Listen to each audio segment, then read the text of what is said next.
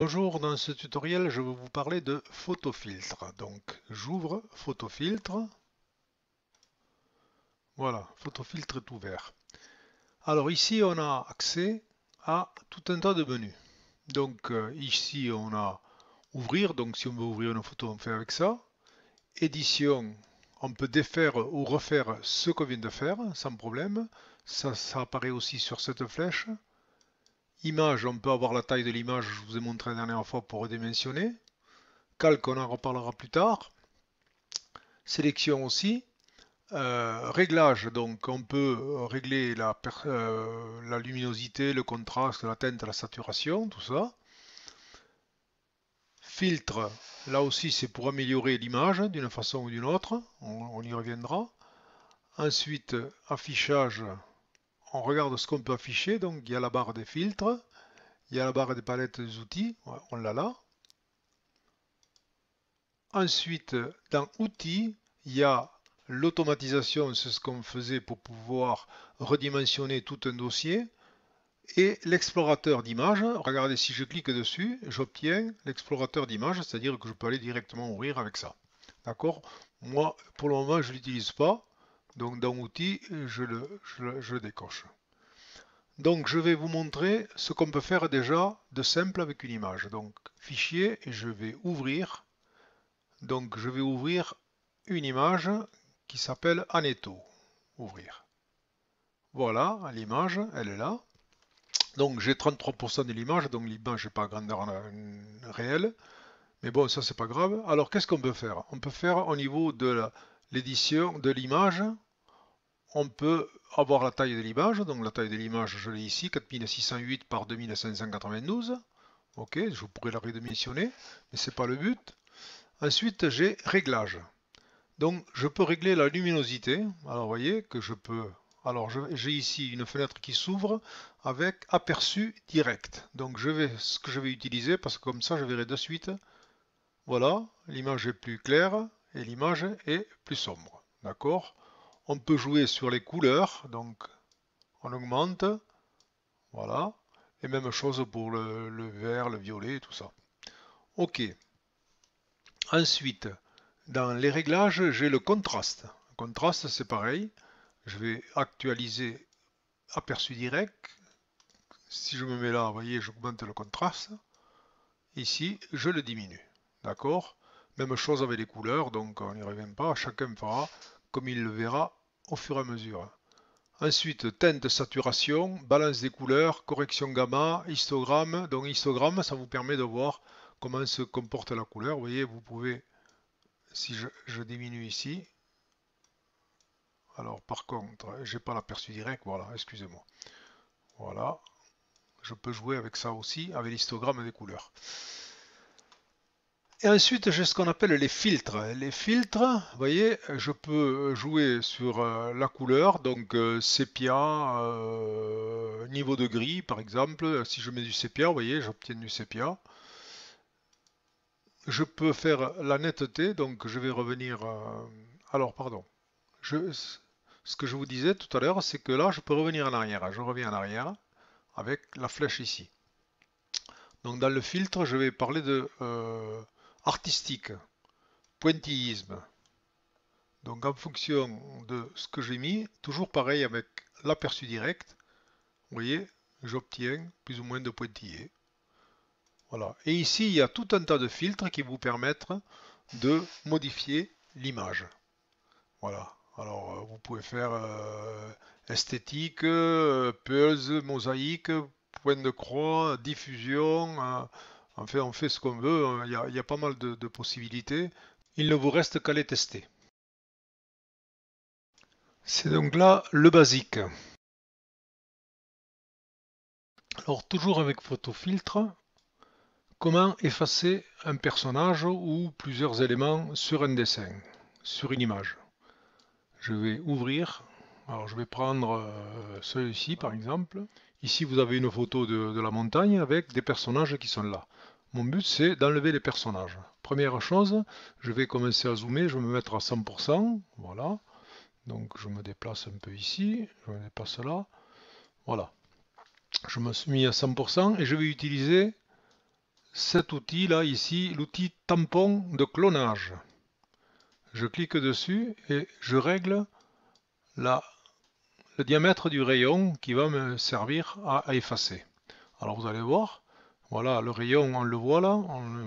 Donc je vais me mettre ici sur contrôle. Vous voyez, quand j'appuie sur contrôle, j'ai le, le tampon qui s'affiche. Je clique dessus à l'endroit et vous voyez, au fur et à mesure, voilà, j'enlève, hop, Là, par contre, je me suis, je me suis déplacé trop. Hop, je me mets toujours, voilà. Vous allez voir, je me mets là, et puis j'enlève. Donc, en fait, qu'est-ce que je fais? Ce qui est ici, je le recopie ici, en fait. Je clone ce qui est là. Voilà. Donc, si je prenais ça, si je me mettais là, vous voyez que je vais me retrouver avec ça ici. D'accord? Donc je ne le veux pas, je l'enlève. Et donc il me reste le bâton.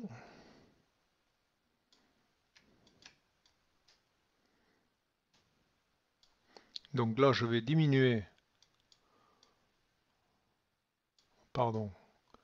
Je vais diminuer, je vais descendre à 15, 20. Je vais mettre là et je vais effacer le bâton. Voilà. Il me reste le bonhomme qui est au fond, donc je vais y aller là. Je, garde euh, toujours la même dimension.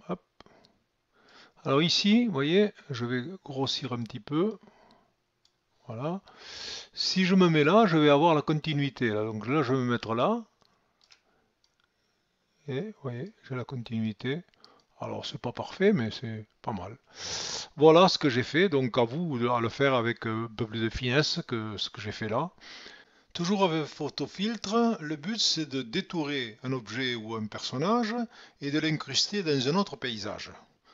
À savoir par exemple, ici, j'ai un coureur, voilà, que je vais incruster dans le, champ, voyez? Voilà le but. Donc qu'est-ce que je fais? J'ouvre photofiltre, voilà, je fais ouvrir, donc je vais choisir mon coureur, voilà. Voilà, maintenant je vais détourer le coureur. Donc pour faire ça, je vais euh, utiliser le lasso. Je pourrais utiliser aussi l'outil polygonal, mais je vais utiliser le lasso. Et donc je me mets là et je contourne le coureur, tout ce que je vais sélectionner, voilà. Voilà. Maintenant, je vais faire édition, détourage optimisé. Pourquoi? Parce que là, j'ai détouré grossièrement le coureur. Voilà. Et là, je vais faire OK. Je prends le coureur. Alors, je peux l'agrandir ou pas. Là, je vais voir. Je vais l'agrandir un peu peut-être que ça va. Voilà, et bien je vais utiliser l'outil gomme ici. Outil gomme, donc je vais utiliser l'outil gomme rond. Voilà. Et avec ça, je vais effacer tout ce qui me gêne. Donc euh, voilà, voilà. Donc je ne vais pas tout effacer parce que ça prendrait du temps, mais, à vous à le faire sérieusement. On va le faire en exercice. Donc je l'efface rapidement. Hop. Voilà. Maintenant que j'ai que je crois avoir fini, donc si, je considère que c'est fini, je fais sélection, tout sélectionner. Vous voyez, j'ai un cadre qui apparaît. Ok, et maintenant, qu'est-ce que je vais faire? Je vais prendre le personnage et je vais aller le coller. Donc je vais faire édition, copier. Je vais ouvrir mon cirque. Voilà. Et je vais faire édition, coller, euh, pardon, édition, coller. Voilà. Et voilà, je me retrouve le petit bonhomme sur le champ. Voilà. Et donc là, je peux diminuer ou agrandir le bonhomme. Pour ce faire, je fais un clic droit dessus et je fais soit euh, paramétrage manuel, et là je change méthode si je mets 100 et que j'ai laissé conserver les proportions, vous voyez le, bonhomme il est beaucoup plus petit. Je peux aussi faire euh, un redimensionnement du calque, donc j'ai quatre petits coins et il suffit que j'agrandisse, voilà. D'accord? Et puis je peux déplacer le calque comme je veux. Une fois que j'ai fini ça, je fais je valide en faisant entrer. Voilà. Donc là, j'ai mon dessin tel que je le voulais. Et donc, je vais, dans un premier temps, faire enregistrer sous. Alors, dans un premier temps, je vais enregistrer sous le, euh, sous, le natif de photofiltre, c'est-à-dire PFI. Pourquoi? Parce que je pourrais revenir, le rouvrir et retoucher à nouveau la photo. Donc je le fais enregistrer comme ça. Pas de compression, ok. Ensuite, je peux aussi faire enregistrer sous. Et donc là, je vais l'enregistrer en JPEG. Pardon. JPEG, voilà. Sachant que JPEG, ça vous écrase tout. Donc vous aurez une seule image, mais vous ne pouvez pas la retoucher. Et donc je l'appelle euh, coureur d'un cirque.